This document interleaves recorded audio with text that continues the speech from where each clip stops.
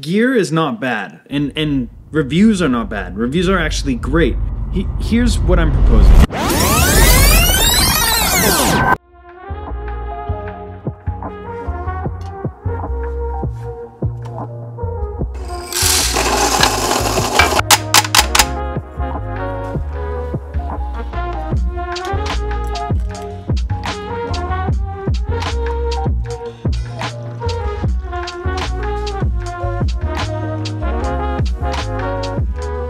Is very sunny this morning.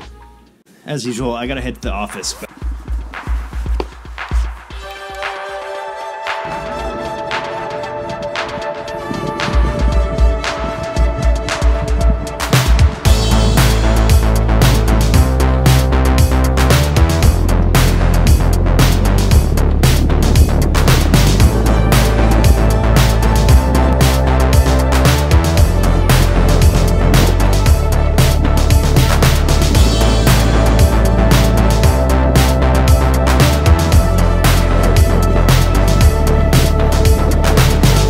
Ooh, hello. All right, it's an amazing morning down here. First, I just want to say hello to all the new subscribers here. I didn't realize that yesterday's video was gonna uh, resonate with so many of you.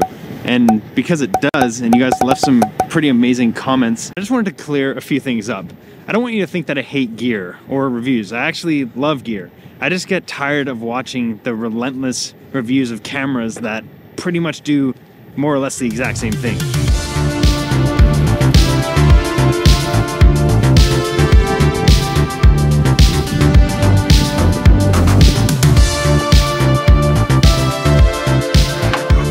I'm not going to pull a Tepa Hopoya and fly off this dock with my one wheel.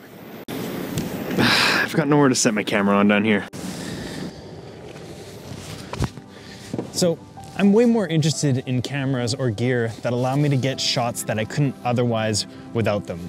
Like iPhones, 360 cameras, action cameras, things of this nature, and even something as simple as this. I'm on an active road right now, so I gotta make sure I don't get hit. This is an extra long selfie pole, an extended selfie stick, if you will. And that allows me to take my 360 camera and put it three meters in the air, giving me effectively drone-like shots. This is a really cool piece of gear. And I mean like, look at these shots. Here, I'll do a, I'll do a quick one right here.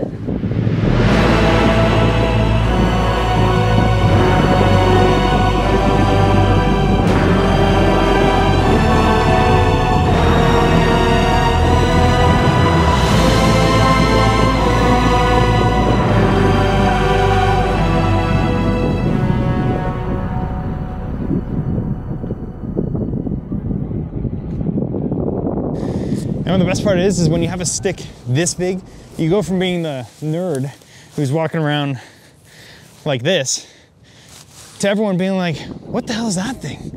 Like, cause it's so massive, it's so out of place. That's one of those 360 things? Yeah, I often wondered, where, how's this guy filming this? yeah, That's pretty cool, man. yeah. So, are you, are you testing the product or what are you This one in particular is built extremely well. And I love that you can actually adjust it to all of these different spots. You've got 120 centimeters, 240, 300. It's just way more versatile. So you can still have the, the dorky selfie stick, or you can extend it all the way out for the massive winner. Days like today where it's freezing outside, this, uh, this little foamy handle makes all the difference.